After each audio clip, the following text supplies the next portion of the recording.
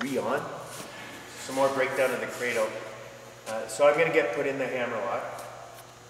You can just go right. Okay, perfect. Okay, see what's going on right now? Happens around the world. Okay, let's go back again just for a second.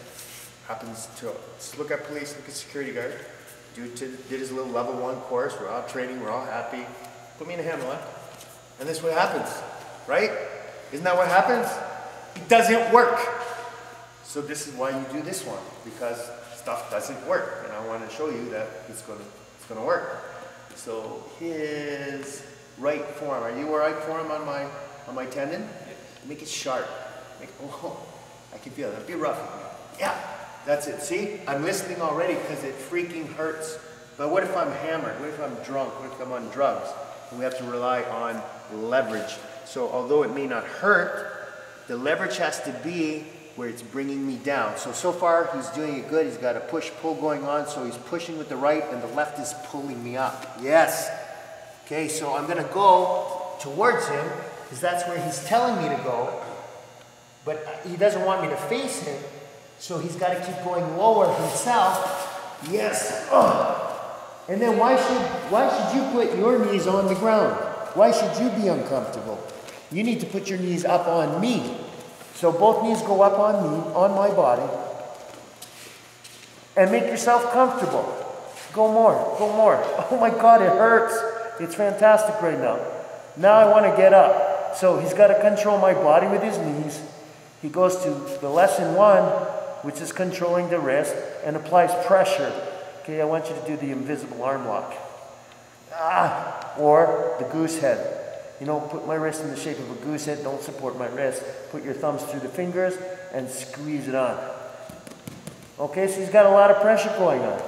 Now he wants me to get up. How is he going to do that? He needs to make a hole in the direction he wants me to go. So if he wants me to get up, he moves backwards, tells me to move backwards because my brain is really hazy right now. But how he's going to get me to stand up? He's got to squeeze it on. Go squeeze it on. And that makes me get up.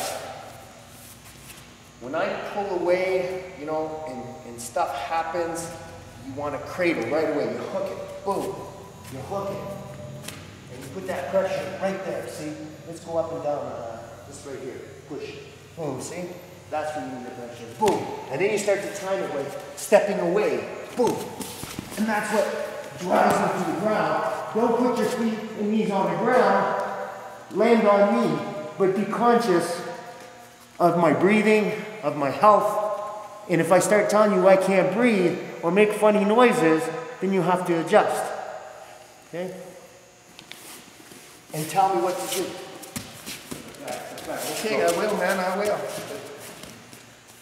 Okay, so it's really, really important to from your level one, now that we're moving into the level two, is to understand you might be doing this by yourself, which a lot of the viewers on YouTube have been asking, me, how, you know, what do I do when I'm by myself?